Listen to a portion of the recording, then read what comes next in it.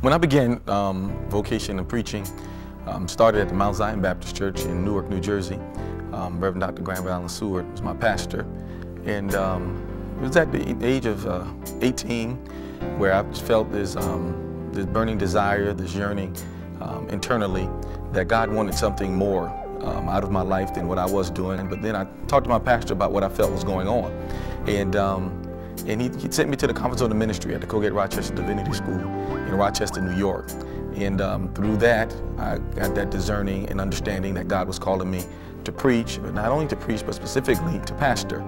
And, um, and from there, he took me under his wings and started teaching me and helped me to understand what this whole uh, vocation of preaching is all about. I preached my first trial sermon um, January 15th, 1988 at the Mount Zion Baptist Church in Newark. The trial sermon was uh, entitled, uh, you know, A Young Man on the Mission for Christ coming out of Jeremiah. Jeremiah said it was like fire. Oh, it was like fire Shut up in my voice. And I just sit, sit still. I have to go out and preach, proclaim the word that the Lord has in me. Because I know. Now that I look back at it, it was more of a, uh, a sense of a young, young fellow, ragged, trying to step out of this new call that God has placed on my life and knowing that God was telling me to keep on keeping on. That seemed to be the, uh, the theme throughout the whole sermon. And I believe it was a, a good sermon. Folks said it was a good sermon, but uh, of course my mentor felt that, you know, there's a lot of work that need to be done. And from there, he saw to it that I would prepare myself uh, to become a good preacher and a good pastor um, as God was calling me into this vocation called ministry. When I first got called to the Great Abyssinia Baptist Church, it wasn't something that he took on on his own. Um, he didn't get there and think that it was something that Allen Potts was doing. He knew that uh, taking on the uh, pastorate of the Great Abyssinia Baptist Church was God's guidance and um, God's doing. Um, so it wasn't that Allen did it. He knew that it was uh, God doing it for him. It was a sense of uh, fear and trepidation because I did not know um, how I would be able to mount up to do what God is calling me to do in this new assignment.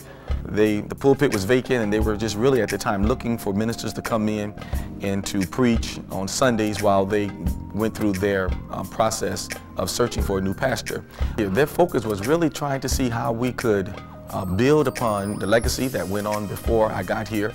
Um, they wanted to continue the growth of, of, what was started. I was called um, one day by um, musician Leon Lumpkin to see if I was available uh, one April to come on the first Sunday to uh, preach and to serve communion uh, for them because they needed an ordained pastor to serve communion. And I, I um, accepted and I came and I preached. And from there, um, um, Great Abyssinia liked me, liked my presentation and all, and from then they asked if I would submit my information to become a candidate for the pulpit. Uh, November 15th of 1999, I came here, presented myself as a candidate uh, for the pulpit, preached for them, and then on that next day, uh, they took a vote and uh, voted me as being their next pastor, which and uh, the Lord blessed ever since then. But um, in us, in us coming here, we were young, and they were excited because they were, you know, without a pastor, and their pastor had just um, passed, went on to be with the Lord. And so they were you know, happy and, uh, and well receptive of me and my wife. When we got here, my wife and I, we, we came here uh, alone. It was just she and I. We were you know, ministering and doing what God was calling us to do. And the late uh, First Lady, Sister Alberta Zimmerman, she would always tease us that we were just a family of two. And, um, and you know, every time for us expanding. And so we um, expanded, and Allen um, was born.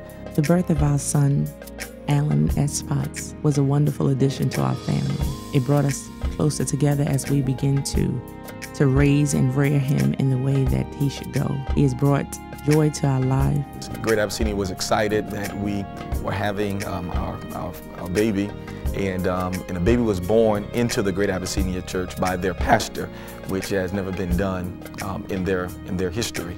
The relationship between my son, Allen S. II, and his dad, Allen, is inseparable. Although he looks exactly like his mother, him and his dad are best of buddies. Reverend Potts is an excellent father. Under the dynamic and progressive leadership of Reverend Allen S. Potts, Greater Abyssinian Baptist Church has accomplished several initiatives over the past 10 years. Changed organizations to ministries, established youth ministry, appointed the first woman to the Board of Trustees, purchased a 14 seat church van, initiated Maundy Thursday service, capital improvement for the church, purchased church marquee, church renovation projects, children's church established, initiated the debt free campaign, and in 2005 eliminated $650,000 in church debt. The church restored and renovated, just to name a few outstanding projects led by our pastor, the Reverend Allen S. Potts, senior pastor of Greater Abyssinian Baptist Church. Um, we brought about a vision, seeking to uh, move to um, get a vision to where we could work our ministry out of and to bring a sense of unity uh, with new pastor and people. Um, one of the things that um, I believe helped us is, is, as we went forward in our whole vision of moving from clubs and auxiliaries um, to really ministries. Because if we're going to be a church on the cutting edge, we felt that we couldn't be, you know, clubs, but we have to be ministries because the church is about ministry. And once we did that, we got a, a different focus and outlook on what the church really was about. God gave us what we're working out of now, uh, what we consider our MUMS mandate, um, mobilize, unify missions, and serve. And from there, we've been trying to mobilize our church and unify us so that we could be a church that's on a cutting edge to make a difference not only on the inside, but yet on the outside in our community. To my husband, Allen, who's celebrating his 10th year pastoral anniversary, um, I first want to say to you, congratulations to you. Um, I'm so proud of how um, what God has done thus far in our lives as you celebrate 10 years. As I leave these words of encouragement with you, I would say that to lean not to your own understanding. In all your ways, continue to acknowledge God, for he shall direct your path. Um, continue to look to the hills from which cometh your help, and your help coming from the Lord. I love you dearly. I shared with you from day one that whatever comes our way, that no weapon formed against us shall prosper. So, 10 years later, I still stand on that promise. I love you. I'm proud of you. And may you continue to keep on keeping on. 10 years, wow, how it has come and gone. I realized I couldn't do it by myself. And I, I, I just want to just thank um, all of those who played a part in making sure that this ministry has been what God wanted to be. First of all, I have to thank my wife who came here with me 10 years ago. And in our sharing through our ups and our downs as it relates to the church, God has blessed us. And I want to thank you, uh, Angie, for uh, being here with me and being the support that I need throughout this ministry. I want to thank the, the joint ministry, the joint board, who has come and has, um, has, has supported and has really become a backbone to help to see that, Pastor, you're taking us on the right track to where God was doing it because without you, our ministerial focus would not have come and has gelled the way it is. And how, how can I not say thank you to our ministerial staff, those of whom I found here when I got here, and then those who've come to accept me. I, I want to thank um, you for your undying support uh, to our ministry that whatever pastor was trying to do and trying to be about, you came on board and you worked it out. I want to thank um, you, the Richards. I want to thank you, Edna Barfield. I even want to thank Minister James Johnson, who's no longer with us but has moved on. Ella Matish, um, Sister um, Shirley Ward. We, we want to thank you for how you have played a part in our ministry. To the Great Abyssinia Baptist Church family, you, uh, you have given me your support. You have put your trust in me.